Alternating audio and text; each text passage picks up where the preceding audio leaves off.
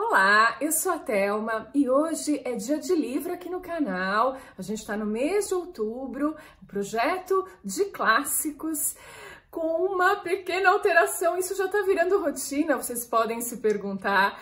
E não estariam errados, porque eu já fiz umas duas alterações, incluindo o mês passado. E nesse mês eu queria muito ler F. Scott Fitzgerald, o grande Gatsby. E então por isso, porque eu preciso muito ler esse livro, eu vou fazer essa pequena alteração. Então, o livro que seria em outubro, a gente passa muito provavelmente para o ano que vem, é, mas colocamos aqui Fitzgerald. Por que, que eu escolhi isso? Boa pergunta, né? Ele é o grande escritor americano do século XX, aí do lado do Hemingway, vai ocupar um espaço super importante. Ele que foi da era do jazz, né? Ele que é da geração perdida. Ele conviveu com Hemingway lá em Paris, nos anos 1920, alguma coisa assim, foi para a Primeira Guerra. Ele nasceu na virada do século, né, 19 para o 20, e vai viver aí uh, nos Estados Unidos num momento muito importante. Eu acho que aí está um ponto bem legal da gente prestar atenção. É quando aí nesse começo do século 20 que uh, os Estados Unidos vão se consolidar como a grande nação, a grande hegemonia mundial, né? Assumir esse papel perante os outros países, né? Ultrapassando a Inglaterra nesse sentido. E aí surge um certo mito que é o do a terra do sonho, onde tudo é possível, né? Onde você pode realizar esse sonho, um sonho um tanto ambíguo, né? Um sonho onde nem sempre você tem essa, esse final feliz.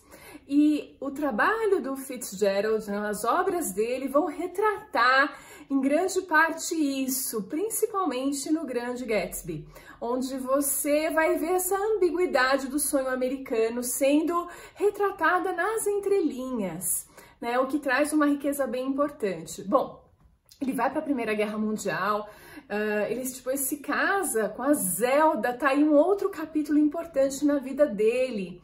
Ela que tinha esquizofrenia, se não me engano, ou outro ou outros diagnósticos psiquiátricos, o que torna a vida dele um tanto complicada. Tanto é que no final da curta vida do Fitzgerald, ele morreu com 44 anos ela estava internada, né, já há um tempo, enfim, depois vai morrer num, num uh, parece que a clínica onde ela estava internada tem um incêndio, enfim, nossa, é bem trágico, sabe? Não são vidas muito simples, não, sabe?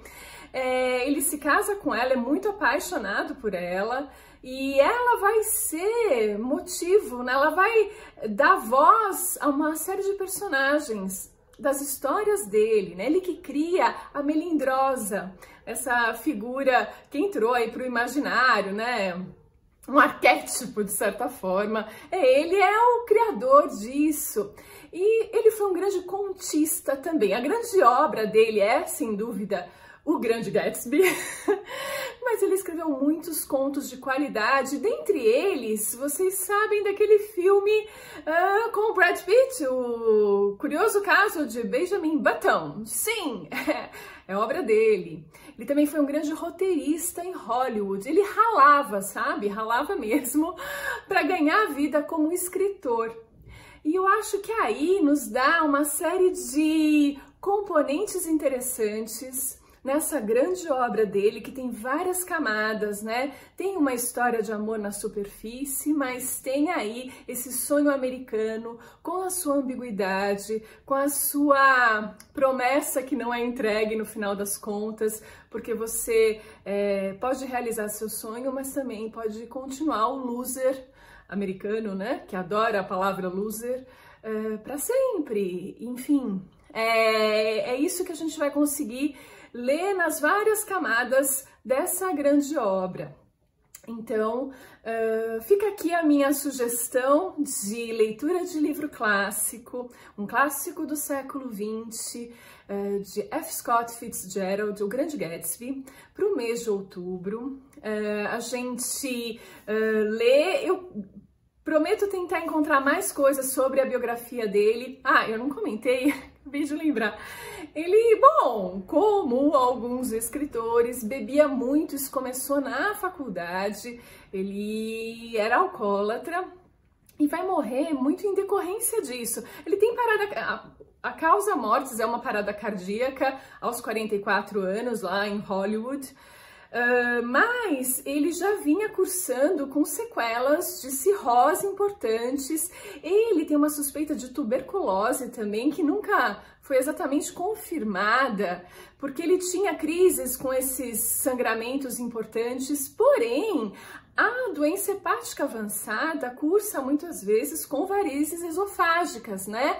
Que provocam sangramentos de uma forma um tanto semelhante, e isso aí deixa a história um pouco conturbada, um pouco confusa, mas também não importa muito. O final da história é que ele morre aos 44 anos, vítima desse ataque cardíaco. Ele que já tinha sofrido dois na década de 1930, no final dela ou seja, já havia um prenúncio aí de morte.